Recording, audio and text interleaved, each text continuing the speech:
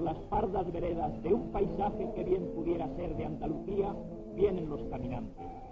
El paisaje es de los caminantes, son campesinos que van a la ciudad a vender sus mercancías. Blanca aparece sobre una ladera, tendida y abrazada por murallas. Es Tetuán, la ciudad que fundó Sidi el Mandri antes de la conquista de Granada.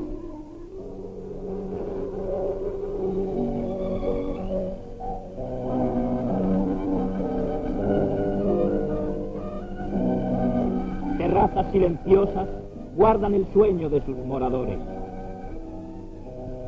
En las plazas vacías, el sol empieza a recortar las sombras. Todavía es temprano, nadie cruza los focos. Poco a poco la ciudad se despierta. Mientras se despereza, hablaremos de historia. Sidi el Mandri, que la fundó, era español, había nacido en Loja. Junto a un pequeño poblado indefenso que entonces existía, erigió su castillo y dentro del recinto amurallado se empezó a edificar. Los campesinos siguen acudiendo desde lejanos sitios. Sobre sus borriquillos componen una estampa de otros tiempos.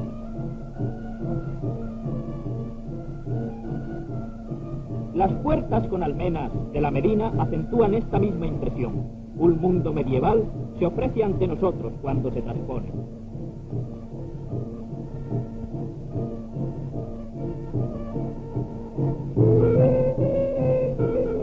Nada hay que pueda compararse al bullicio de los tocos. En ellos se reúne una abigarrada representación de toda la escala social. Se compran y se venden los más insospechados productos y el comercio se desarrolla con febril actividad.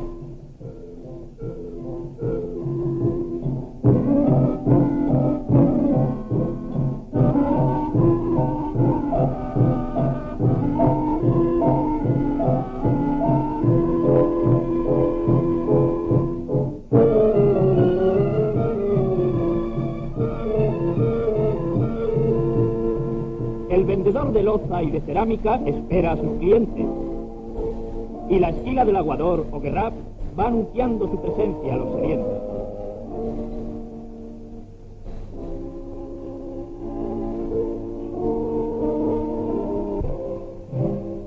Los viernes, día festivo musulmán, Su Alteza Imperial el Jalifa, acompañado del gobierno en pleno, sale a orar en la mezquita. Su guardia interpreta el himno jalifiano.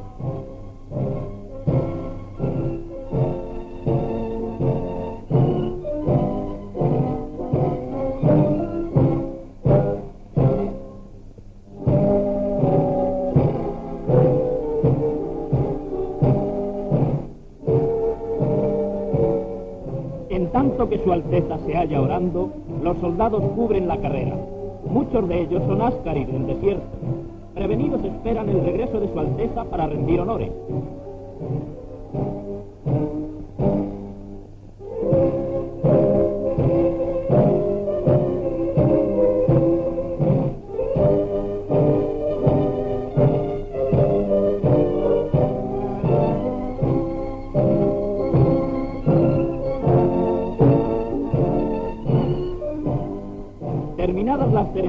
Tradicionales y que se repiten periódicamente todos los viernes, comienza el desfile de la Guardia Jalisciana.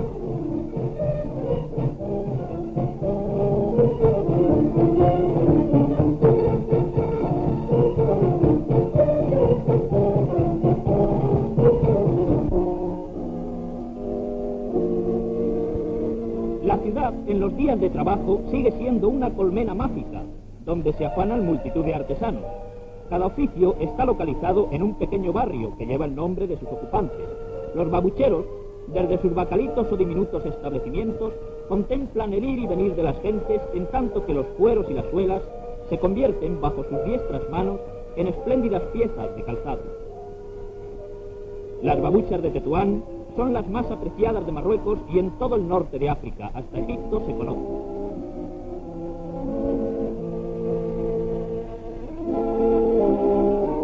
Lejos de los babucheros se encuentra el animado barrio de los sastres. En él, los hombres de la aguja y la tijera cortan y cosen las chilabas y demás prendas de la indumentaria marroquí.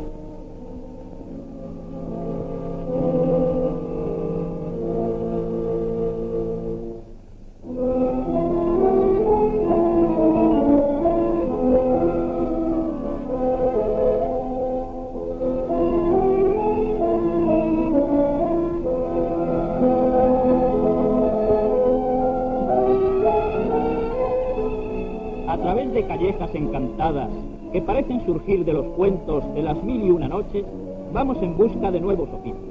Los estereros trabajan en ocultos rincones, componiendo verdaderos tapices de juncos.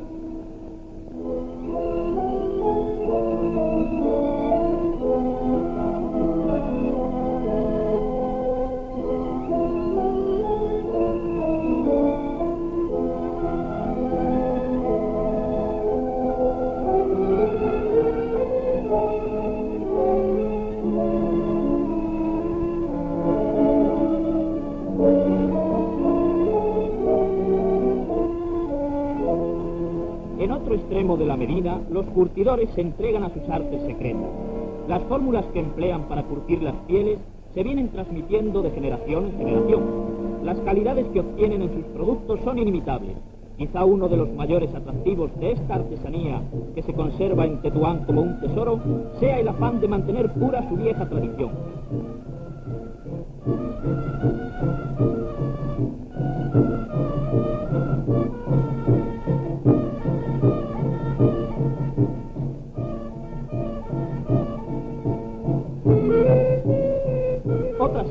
Nos llevan al barrio de los tejedores. Laboriosos y humildes, de sus viejos telares nacen paños robustos y delicados lienzos.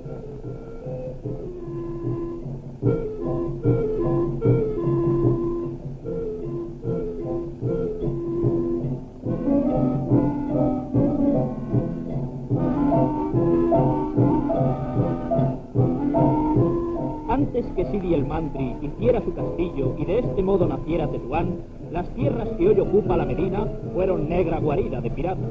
Aún hoy, bajo estas calles se conservan las cuevas que los albergaban. Ya declina la tarde y los campesinos empiezan a recoger sus hatos. Saliendo por la puerta de Ceuta, muy cercana, se llega pronto al lugar en donde se hallan los alfareros. Prodigiosos artífices moldean el barro con tal habilidad que parece que le infunden vida.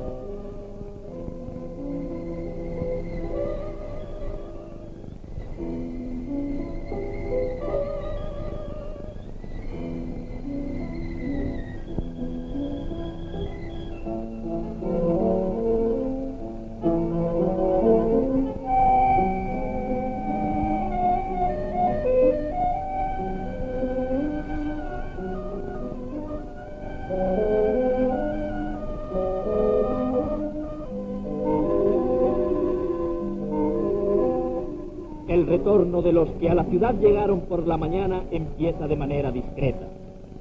Sin que se haga notar, va decreciendo la animación dentro de la medida. Vuelven a estar las calles solitarias. Sobre las piedrecillas del arroyo resuenan las pisadas tranquilas o fugaces de alguien que pasa envuelto en el silencio. En las blancas terrazas se mira el sol antes de retirarse. La paz se cierne sobre Tetuán, incomparable joya de Marruecos.